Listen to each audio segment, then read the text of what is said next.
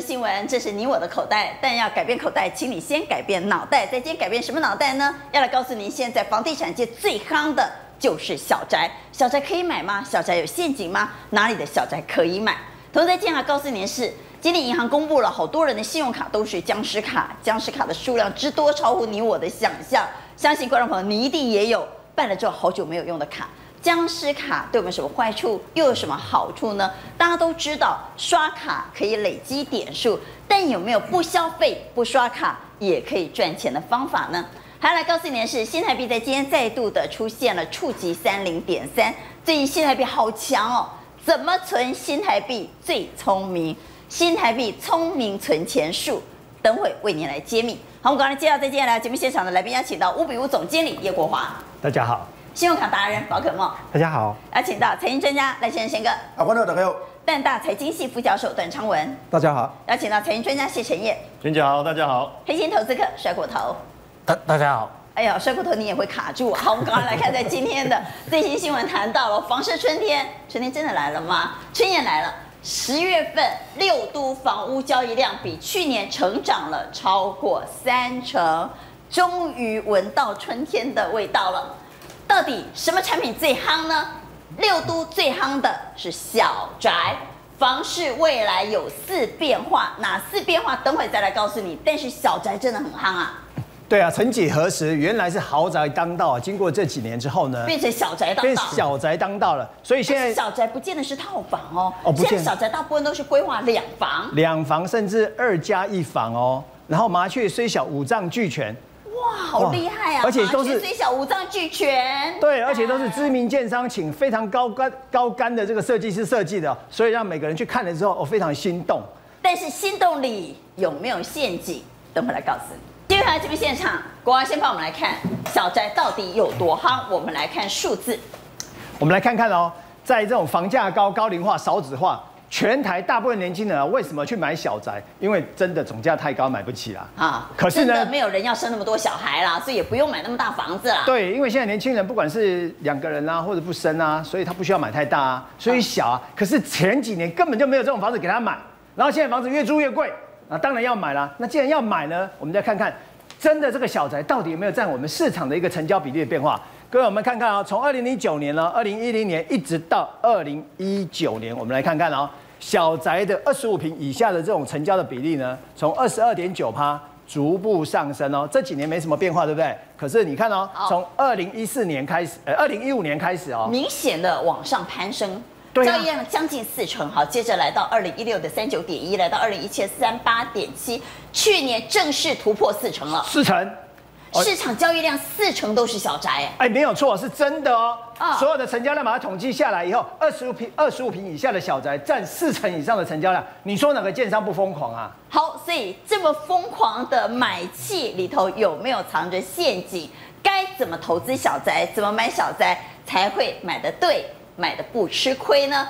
现在啊，市场上我们大家都知道，其实过去买套房的经验就是低总价高单价。没有错，大家都知道，哎，五百五百块钱，刚刚没管，但是一除下去，每平单价比周边的一般的三房还高了五趴十趴。好，这你怎样，我嘛怎样，来功力们怎样来？现在市面上流行一种销售手法，叫做保证收租扣抵房价，赚租又划算。保证收租扣抵房价，赚租又划算，是什么意思？所以买这个房子，你会不会更有信心呢？我不一定去躲啊，但是哈，他告诉你说，如果你不住哈，当投资都很好。你想讲，哎，我躲可以在投资加好啊，到底是安哪？好，我们来看一个例子哈。哎，建商开价七八万，得给那个我把那是咱那底下来得讨论哦。就说我是建商，你是代销，哎，啊，你怎么卖三个月卖不掉？到底怎么办啊？这个要怎么办？他说哦，真的，买方出价都是约略出在五百万左右，这个案子如果没有降到五百万卖不掉，我是建商，你给我拉个我爸爸，你喜安哪？你别搞他签哦，不可能。于是乎呢，想办法娟姐想办法，想办法包装好，所以这个代销就很厉害，那个包装哦，包装什么？哎，先不要讲，首先把开价从七百降到六百五，安喜比拉狗咋办？对，对不对？我市场就有降价了嘛。第二个，我还告诉你，保证收租一百，一数一下，三年内你等于是又从六百五少了一百万呢。而且三年收租一百，一般买方就会想。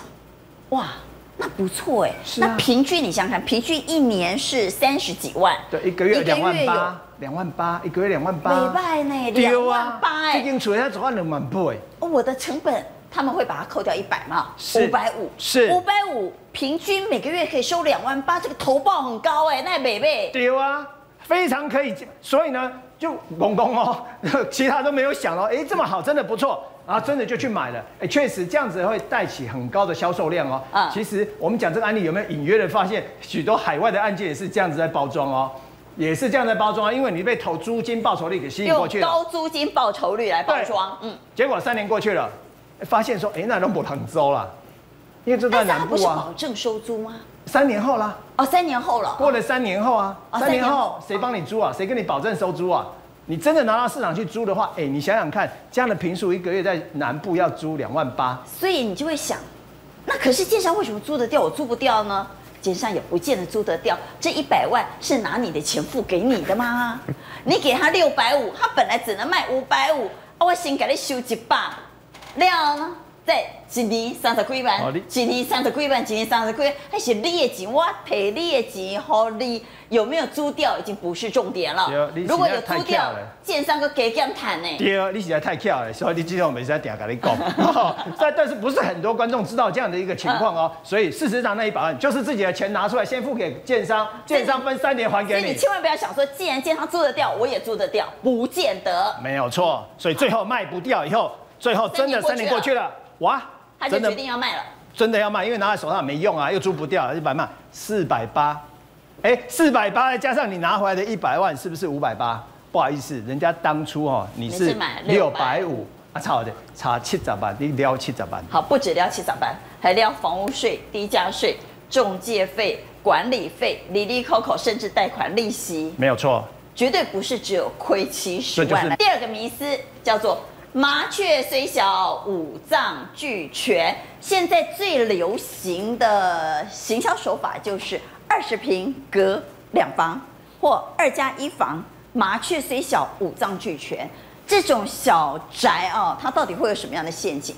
它小宅的陷阱是这样，你要注意到它的公厕，因为地公厕很，你要看到四十 percent，你就要注意，因为我们以前买平面车位是十平，嗯十平，啊十平一档应该较无这个烂招数，十平啊一个车位一百万，现在登录成五平，也是卖你一百万，为什么？你有车位一个一个算个，但是他把中间走道的五平放在房子当公厕，房子本来是五十平，现在变成五十五平，你要举小宅做例子了，小宅就二十平了哈，对所以本来是二十平就变二十五平了，但这五平其实是有车道的，对，那是车道，哦哦。哎，他会这样，那他的目的是？他的目的是把房子吸胖，他本来卖五十平哦。变成五十五平，因为当平数放在车位，单没有单，平的价格不可能那么高嘛，对，平数放在车位的时候，通常车位如果是十平，哎车位卖一百五十万好了哎，一平是十五万。哎，可是当这个平数放在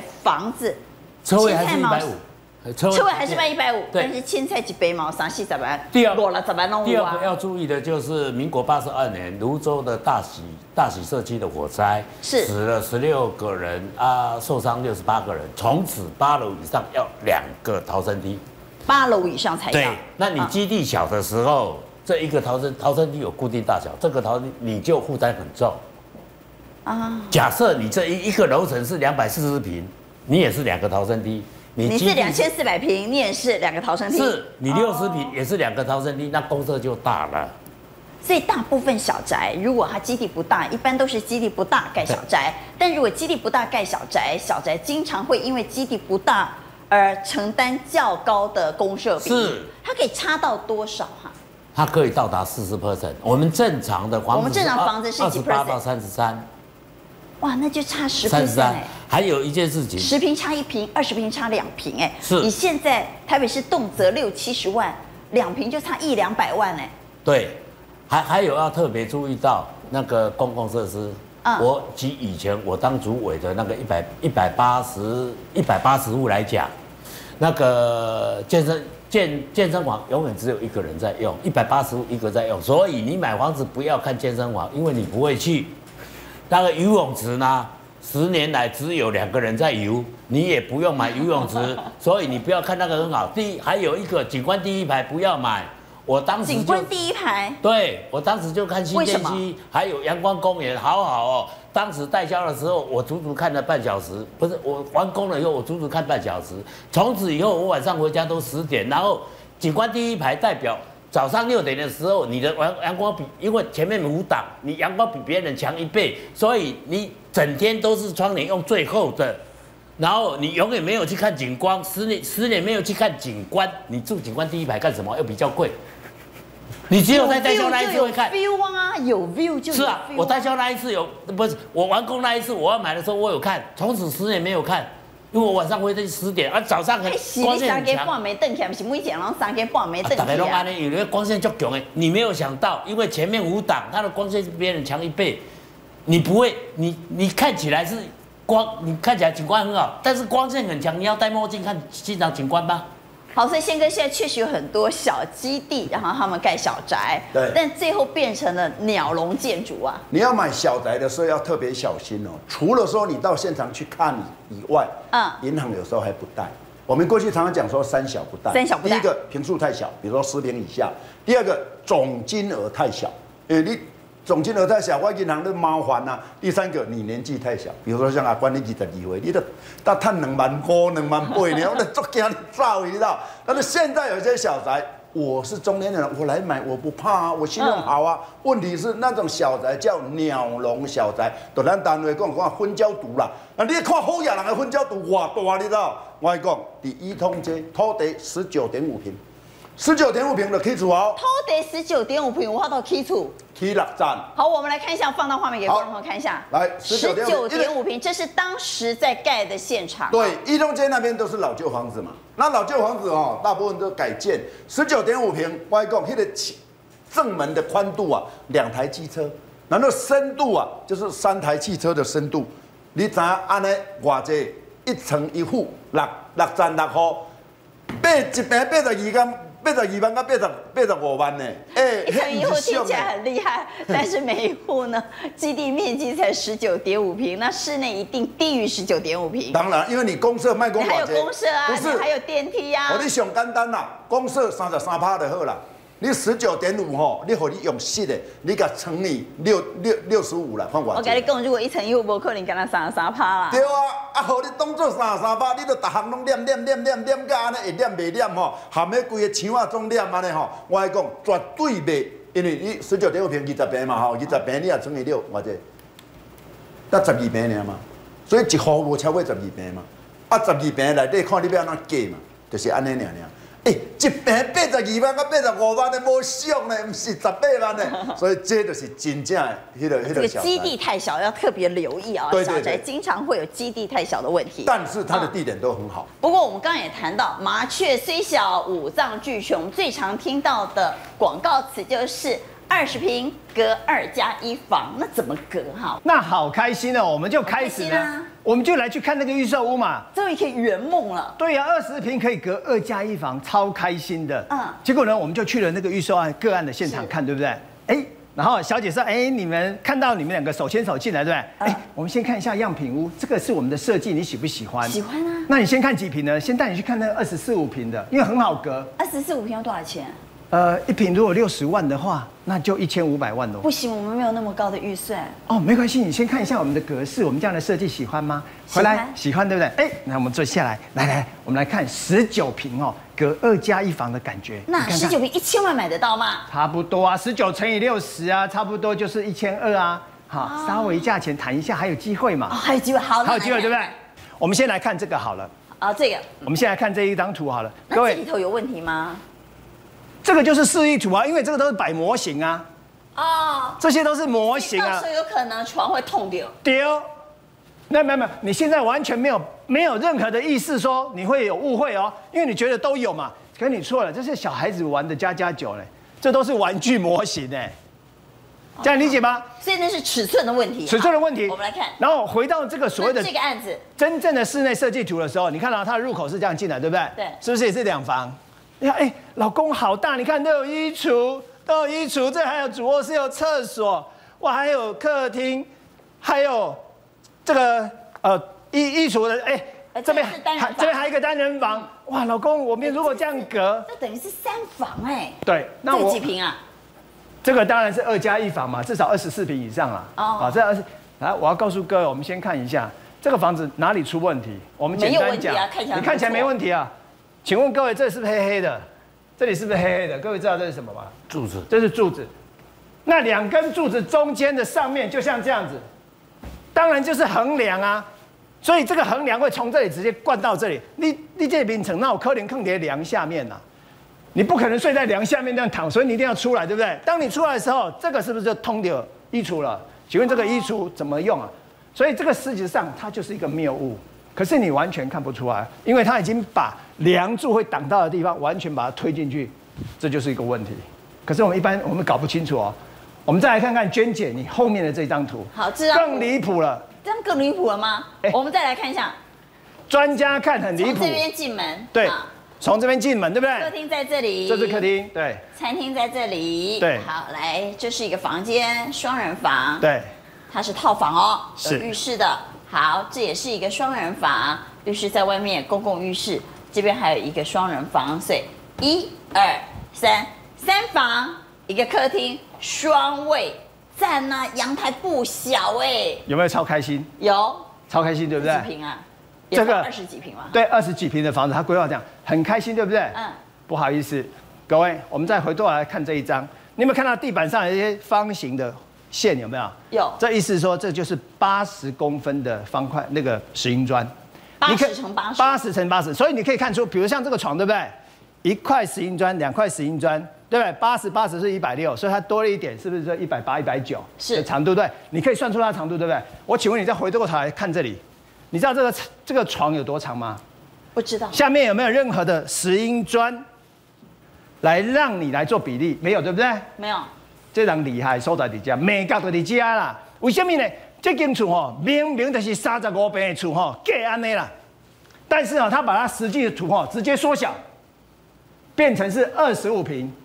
你各位理解吗？本来是三十五平应该这么大，他直接把它缩小。直接把它缩小成七十 percent、六十 percent 的概念。对，那你就觉得哎、床也都放得下，你他个派去，你二十平缩小以后，床会变小吗？怎么可能变小？所以这个床根本就放不下去其。实很多小宅的设计图，它是用大宅的设计规划去缩小版。我不能说所有是这样，但是你可以看得出但来，这个明明就不让你做这个尺寸的比对，它就是这样的一个陷阱在里面。哦，那怎么办呢？帅骨头，这个你要把它拍照，你要把它量起来，叫代销签名，还有每一个图，你要把它拍照，把它量起来，叫代销签名。你说的是在样品屋的时候吗？样品屋对哦，所以我们去样品屋还带尺去量啊。真的而且那个就带尺量 OK 啊，下面还有一段牛。呃，带金这样 OK，代销哈自己不是老板，代销一定会签名。那因为所以你给我牛料，让他在那个广告的、不是你一张纸，这张图然后对量完了以后，再代销又会签名啊百分之百会签名。我自己就是代销的老板，我到今天都是。那你有碰过这种奥克吗？当然卖他，因为我根本就我根本就从来没有印过 DN 啊，我都是用那个建筑图在卖的、啊。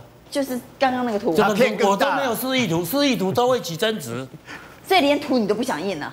不得，我的买方都没有去，现场看房子啊。买方如果在现场量完，把它登记下来，他说哦，主卧要多大长宽啊，次卧多大长宽，那你签了名之后交屋和一量没有怎么办呢？没有的话，你你去告的时候，代销做证人啊，代销一定讲就是当时当时我我跟他在聊就是这样啊，看是建商老板出问题还是代销老板出问题啊。